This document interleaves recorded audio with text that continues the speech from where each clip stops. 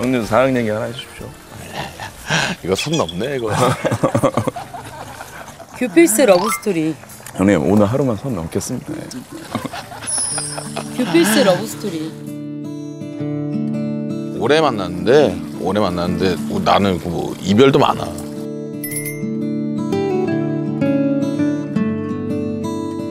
근데 나는 이게 좀 약간 부럽기도 해. 약간 단단해지지 않아요? 아니 뭐 그런 이유보다 뭐 이런 거지. 처음에 이별한 거는 진짜 이게 뭐 이렇게 돈 없으니까 자꾸 이제 피하게 되더라고. 아 만나면 일단 돈 들잖아. 음. 어 그것도 이제 스트레스인 거야. 어 그래서 이제 좀 피했고 어잘 못 챙기고 해갖고 그러다가 이번에 우연치 않게 내가 찍고 있는 드라마에 뭐 OST나 이런 거 어, 작업을 할 뻔하다가 결국엔 안 됐어. 그러면서 또 그 요즘엔 사전 제작이니까 뭐 드라마 내용이나 이런 걸 이제 알 수가 없으니까 나한테 좀 뭐 좀 물어보고 이렇게 또 이제 통화도 하고 이러면서 자연스럽게 또 만난 거야. 그러다가 이번에 이제 잘 만나고 있지. 아, 형 이별했다 갔다 오랜만에 다시 만나. 어. 오. 좋은 거지. 아, 좋아. 평생에 뷔페를 만나는 게 얼마나 중요한 일인데. 그러면 저기 빵 한번 먹어볼게. 이건 뭐예요? 과, 과자인데? 형님 드십시오. 과자. 응, 과자네 이건.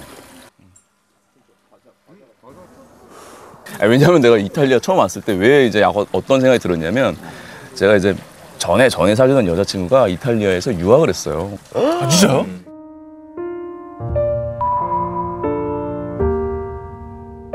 오래 오래 사귀었던 여자. 꽤 오래 사귀었지. 막 한, 어, 거의 5년 넘게. 근데 그때 당시에 어떻게 사귀었냐면 이제 오디션 프로그램이나 이런 거 하면 나중에 투표를 하잖아. 그러면 SNS랑 연동을 한단 말이야. 그때 당시에 싸이월드랑 내가 연동을 했단 말이야. 그때 당시에 이제 쪽지가 왔어. 내 팬이라고. 쪽지 되게 오랜만이다. 쪽지. 쪽지 오잖아. 그럼 이제 어떻게 해? 쪽지 오면 파도 타지. 음, 파도 무조건 탔어야지. 응, 응, 맞아, 맞아. 얘기해봐. 응. 와, 너무 예쁜 거야. 너무 미인인 거야. 아, 너무 미인인 거야. 유학 중이야. 어디서? 이탈리아. 이탈리아. 이거 뭐, 뭐 참을 수가 없는 거야. 바로 쪽지 날렸지. 그리고 이제 도토리 몇 개 써서 배경음악 바꿨어. 키싱 유.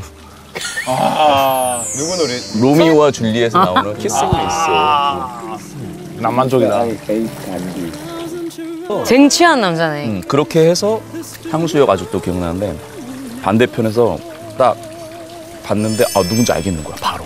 말하지. 그때가 기억이 나서 그래. 여기 오니까 아, 이, 걔, 걔, 걔 여자분은 어떻게 지내고 있는지 뭐 알아요? 결혼 이미 옛날에 했어. 사실 행복하게 살고 있어. 아, 그럼. 이탈리아 오니까 생각나. 어 그래서 난 진짜 그 생각을 많이 하고 왔어. 아 그러다 헤어졌어.